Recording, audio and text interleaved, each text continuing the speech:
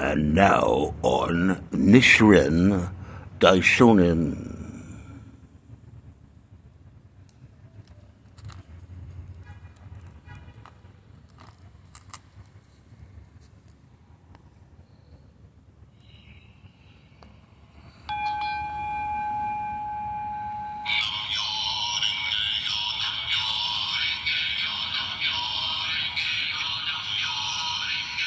SGI members follow the teachings of Nichiren, a Buddhist monk who lived in 13th century Japan.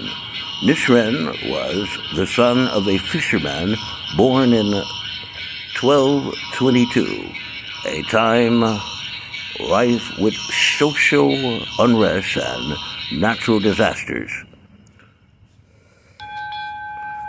Ordinary people, especially, suffered enormously.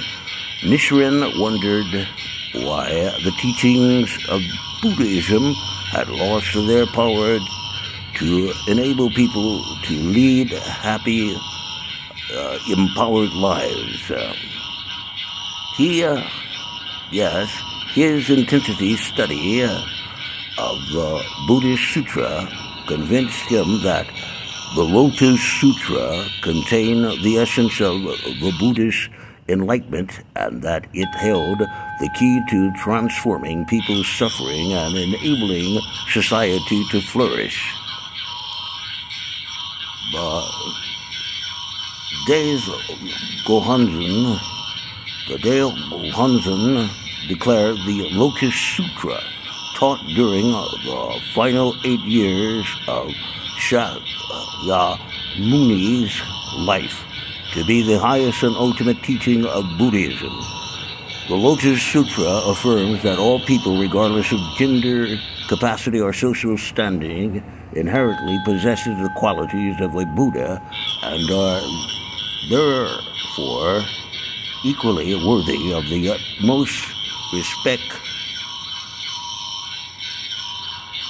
worthy of the utmost respect. The Lotus Sutra most clearly shows Buddhism as a powerful, life affirming, yes, and glory and humanistic teachings. Based on his study of the Sutra, Nichiren established the invocation chant of Nam Myoho Renge Kyo as a universal practice to enable people to manifest the Buddhist nature inherent in their own lives and gain the strength and wisdom to challenge and overcome any adverse circumstances. Nichiren saw the Lotus Sutra as a vehicle for people's empowerment, stressing that everyone can attain enlightenment and enjoy happiness in this world. He uh, first chanted Nam Myoho Renge Kyo on April 28, 1253, and later inscribed the mandala of the uh, Gohonzon, the object of devotion to enable people to perceive the enlightenment life state of the Buddha in graphic form. It is the philosophy taught by Nichiren that forms the foundation of the SGI.